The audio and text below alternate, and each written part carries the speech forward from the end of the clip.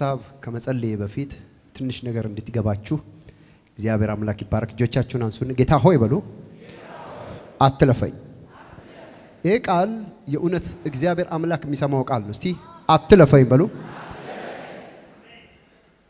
የዳዊት ልጅ ሆይ ማረኝ፣ የዳዊት ልጅ ሆይ አትለፈኝ፣ አትለፈኝ። ይሄ ቃል ኢየሱስን ቀጥ እንዳረገው ዛሬ ከልቡ ይሄን ጩኸት የሚጮህ ሰው እግዚአብሔር አምላክ ይደርስለታል። እስቲ እግዚአብሔር ልጅ ኢየሱስ በሎ፣ አትለፈኝ በሎ፣ አግኘኝ በሎ። አሜን። ዛሬ የማገለግላችሁ እግዚአብሔር የተናገረኝ ቃል ሻካይና በልና ለሕዝቤ ንገር ብሎኛል። እስቲ አንድ ሰው ጮክ ብሎ ሻካይና ይበል እስቲ። ግድ የለም ምሳን ይመስላል። ግድ የለም ጮሆና ሻካይና በሎ። አንድ ጊዜ ደግማችሁ ተናገሩ። ድገሙ አንድ ጊዜ ሻካይና። አሜን። ሻካይና ማለት visible manifestation of God's power ማለት ነው። የሚታይ የእግዚአብሔር መገለጥ ወይም ህልውና ማለት ነው። ምን ማለት ሻካይና ማለት ምን የሚል የሚታይ የሚጨበጥ የሚዳሰስ የእግዚአብሔር ክብር። እስቲ እንደገና እጆቻችሁ እንዳነሳችሁ ትርጉሙን በሉ። የሚታይ በሉ፣ የሚዳሰስ በሉ፣ የሚጨበጥ በሉ፣ የእግዚአብሔር ክብር። እንደገና የሚታይ በሉ፣ የሚጨበጥ በሉ፣ የሚዳሰስ የእግዚአብሔር ክብር ሻካይና በሉ። በኢየሱስ ክርስቶስም በሕይወታችሁ ላይ አሁን ያርፋል። አዋጅ አዋጅ አዋጅ አዋጅ አዋጅ አዋጅ አዋጅ አዋጅ I prophesy ትንቢት እናገራለሁ፣ ቃል አወጣለሁ። የሚታይ የሚጨበጥ የሚዳሰስ የእግዚአብሔር ክብር በላያችሁ ላይ ያልፋል። አጠገባችሁ ያለውን ሰው ዛሬ ሻካይና ይሆንልሃል በሉት። የሚታይ የሚጨበጥ የሚዳሰስ የእግዚአብሔር ክብር በሕይወትህ፣ በአገልግሎትህ፣ በስራ፣ በቤትህ፣ በትዳርህ ይታይሃል፣ ታያለ፣ ትገናኘዋለ በሉ። አሜን። አንድ ሰው ጮሆ አሜን ይባል። ሻካይና ሻካይና አሜን። የሚገለጥ ክብር አለ ዛሬ። አንድ ሰው አሜን ካለ የሚታይ ክብር አለ አልኩ። የሚዳሰስ ክብር አለ አንተ ህይወት ውስጥ ወንድሜ፣ አንተ ህይወት አንተ ህይወት አንተ ህይወት ውስጥ ኧረ አሜን አላለም አንድ ሰው። okay አንቺ እህቴ፣ አንቺ ህይወት ውስጥ የሚዳሰስ የእግዚአብሔር ክብር ዛሬ፣ የሚጨበጥ የእግዚአብሔር ክብር ዛሬ። ኧረ ለጌታ አሜን። ምን የሚል የሚታይ የሚዳሰስ የሚጨበጥ የእግዚአብሔር ክብር። ስሙኝ፣ የእግዚአብሔር ክብር የመጨረሻው የእርሱ መገለጫ መንገድ ነው። ሰው በእምነት ያገለግላል። የእምነት ዓለም አለ። ሰው በቅባት ያገለግላል። የቅባት ዓለም አለ። ሰው ደግሞ በክብር ያገለግላል። የክብር ዓለም አለ። ይህ ሶስተኛው ደርዝ ወይም የመጨረሻው ሌቭል የእግዚአብሔር ክብር ወይም ሻካይና ከመጣ እስራት ሁሉ ከላይ ላይ ይበጣጠሳል። አንድ ሰው አሜን አላለኝም።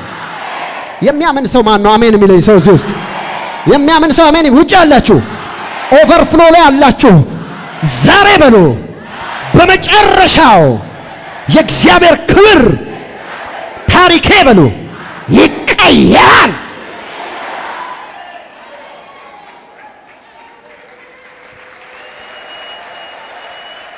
ስሙኝ፣ የእግዚአብሔር መንፈስ እንደዚህ አለኝ። በዚህ ጉባኤ ውስጥ በሰው ሟርት የታሰሩ ብዙ ሰዎች አሉ አለ። በማን? በሰው ሟርት። ሟርት የሚያፈርሰው ከሌለ አናት ላይ ይቀመጣል። ወይዘር ክርስቲያን ሁን፣ አገልጋይ ሁን፣ ማንም ሁን የሚያፈርሰው ካላገኘ ይገለጣል ላይ ላይ ዛሬ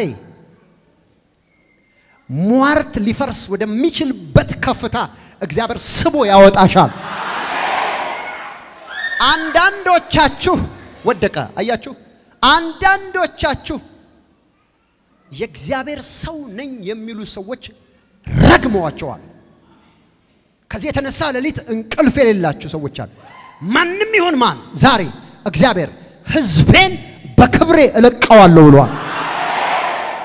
አሜን በሉ። የጨለማማ ተዉት። በሚሆንም በማይሆንም ምክንያት ሰው ላያችሁ ላይ የተናገረው ሟርት በእግዚአብሔር ሻካይና በክብሩ ኃይል ከላያችሁ ላይ ይፈርሳል አልኩ። ይፍረስ የሚል ሰው ጮሆ ይፍረስ ይበል። እግዚአብሔር ሆይ ክብርህን አሳየኝ የሚል ጩሁና ደግማችሁ እግዚአብሔር ሆይ ክብርህን አሳየኝ በሉ። ይሄ ከባድ ጸሎት ነው። ቀባኝ ከማለት ይበልጣል። ግለጠኝ ከማለት ይበልጣል። ይሄ የመጨረሻ ጸሎት ነው። እጆቻችሁን አንሱና እግዚአብሔር ሆይ ክብርህን አሳየኝ በሉ።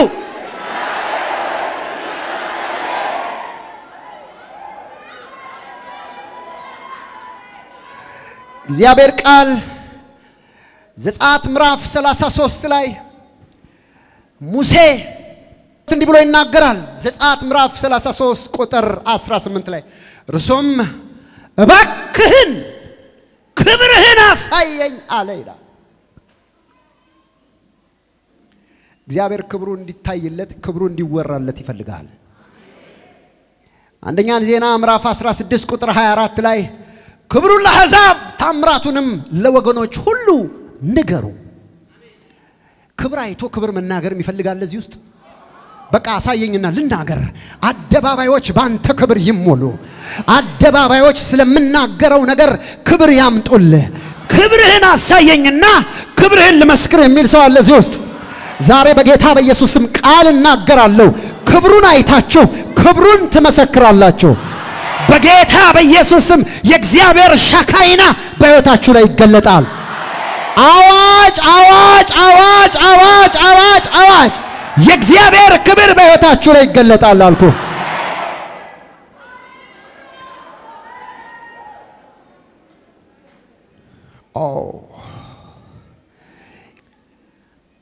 ዘጸአት ምዕራፍ 24 ቁጥር 16 ላይ እግዚአብሔር በደመና ውስጥ ሆኖ በብሉይ ኪዳን ክብሩን ገልጦ ነበረ። ዘጸአት 24 ቁጥር 16 የእግዚአብሔርም ክብር በሲና ተራራ ላይ ተቀመጠ፣ ደመናውም ስድስት ቀን ሸፈነው፣ በሰባተኛውም ቀን ከደመናው ውስጥ ሙሴን ጠራው ይላል። አቤት አቤት አቤት! እስቲ ክብር በሉ እስቲ። ይሄ የምነግራችሁ ይሄ መጽሐፍ የሚነግራችሁ ደመና ሊትራሊ በአይን የሚታይ ደመና ነው። ተራራ ሞልቶ የሚቀመጥ ደመና ነው እና ሰባት ቀን ተቀመጠ ይላል። በሰባተኛውም ቀን ከደመና ውስጥ ሙሴን ጠራው ይላል። ሙሴ ከብሮ ከብዶ አገልግሎቱን የፈጸመው በዘመኑ የአፉ ቃል የጸናው እጆቹን ሲዘረጋ ብዙ ተአምራት የሆነው ከክብር ውስጥ እግዚአብሔር ጠርቶት ነው። እግዚአብሔር በክብር ያገኘው በክብር የጠራው ከክብሩ ውስጥ የተገናኘ ክብሩ የጠራው ሰው በዘመኑ የጠላቶቹ ሟርት በሕይወቱ ላይ አይሰራም። በዘመኑ እስራት በላዩ ላይ አይቆይም። ዛሬ እያንዳንዳችሁ በጌታ በኢየሱስ ስም ይሄንን ክብር እንድትገናኙ በኢየሱስ ስም ቃል አወጣለሁ። አሜን በሉ። የእግዚአብሔር ክብር ወሳኝ ነው። አንድ ሰው አሜን ይበል። አንድ ሰው አሜን ይበል። እግዚአብሔር ክብሩን በብሉይ ኪዳን በእሳት ውስጥ ይገልጥ ነበረ። ቀን በእሳት ሌሊት በደመና አምድ ይመራቸው ነበር ብሎ በዘጸአት ምዕራፍ ሶስት ቁጥር ሁለት ላይ እንደዚህ ይናገራል። በሾህ ቁጥቋጦ ይሄ በበርኒንግ ፑሽ ላይ የእግዚአብሔር ክብር ይቀመጥ ነበረ። ክብር ያልተገለጠበት ቦታ የለም። እግዚአብሔር አምላክ ስሙ ይባር። የሚታይ ክብር ማየት የሚፈልግ ሰው እጆቹን ያንሳ። ስሙኝ፣ ክብር ሲገለጥ ሕያው እግዚአብሔር ምስክሬ ነው። ስሙኝ፣ ዛሬ እኔ እግዚአብሔርን ክብር እጠራለሁ።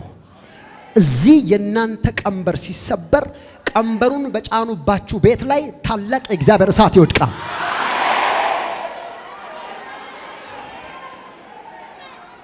ይኸውልህ እዚህ የደጋሚዎች ድግምት፣ የሟርተኞች ሟርት እዚህ ሲፈርስ፣ የጠንቋዮች ጥንቆላ እዚህ ሲቃጠል፣ የጠንቋዮቹ ኃይልና ጠንቋዮቹ ባሉበት ቦታ የሚታይ የእግዚአብሔር ክብር ያገኛቸዋል።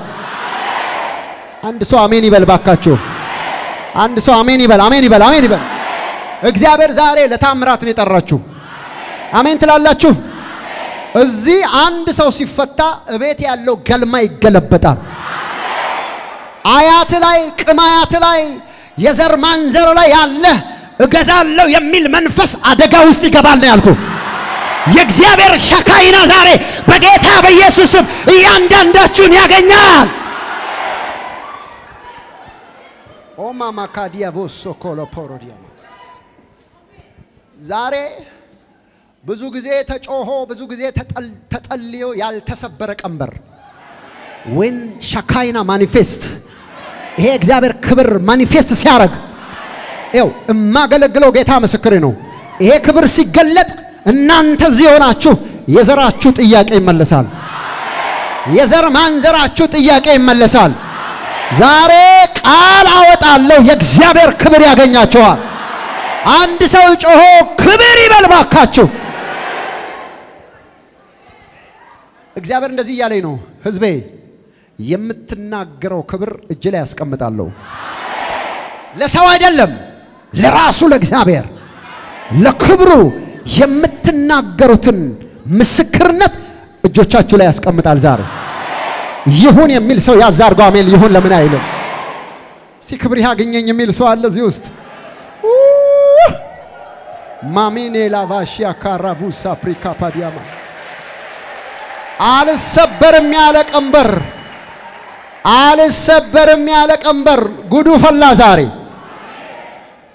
እግዚአብሔር ዘጸአት 19 ላይ እንደሚነበበው ለሕዝቡ ክብሩን ይገልጥ ነበረ። መጽሐፉ ሲናገር ቁጥር 16 ላይ እንዲህም ሆነ በሦስተኛው ቀን በማለደ ጊዜ ነጎድጓድና መብረቅ ከባድም ደመና እጅግም የበረታ የቀንደ መለከት ድምፅ በተራራው ላይ ሆነ። በሰፈሩም የነበሩ ሕዝብ ሁሉ ተንቀጠቀጡ ይላል። ቡዲያ አንድ ሰው ጨለማ ጠላቴ የማይችለውን የእግዚአብሔርን ክብር ተሸክሜ መሄድ እፈልጋለሁ የሚል አለ እዚህ ውስጥ። የምስራች የምስራች! ሌሊትና ቀን የሚያሳድዳችሁ ጨለማ የሚያሳድዳችሁ ክፉ ዛሬ ወደ እግዚአብሔር ክብር ጠጋ ስትሉ እሱ ከእናንተ ይሸሻል። በዚህ ክብር ውስጥ ሆናችሁ ፍረስ ስትሉት ይፈርሳል። በዚህ ክብር ውስጥ ሆናችሁ ውጣ ስትሉት ይወጣል።